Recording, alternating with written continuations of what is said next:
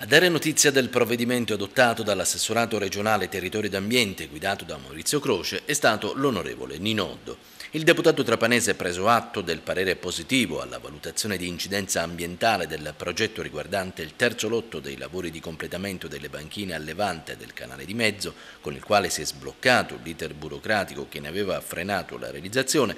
non ha mancato di esprimere la sua soddisfazione per il raggiungimento di un obiettivo al quale lavorava da circa un anno. Il progetto a suo tempo redatto dall'ex ASI, oggi IRSAP, prevede la posa in opera di una banchina lunga 180,70 metri, larga 12, con un ulteriore tratto di circa 28 metri, su cui è prevista la costruzione di una palificata di chiusura. I lavori interesseranno una superficie di 12.600 metri quadri, mentre il costo è stato stimato in 15 milioni di euro. Viene a soluzione finalmente un annoso problema che permetterà al porto del capoluogo di potenziare al massimo la sua operatività, facendone fulcro vitale della sua economia.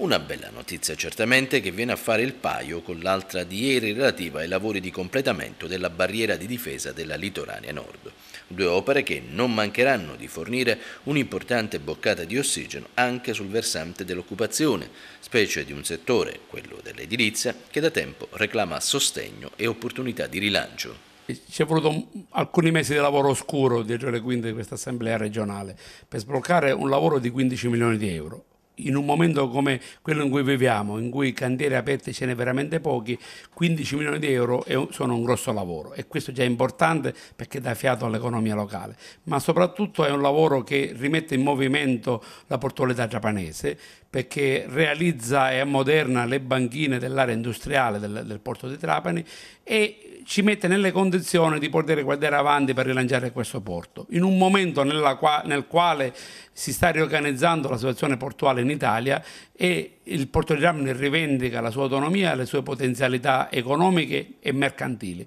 Quindi avere una banchina efficiente è fondamentale per poter offrire un'offerta mercantile agli operatori economici.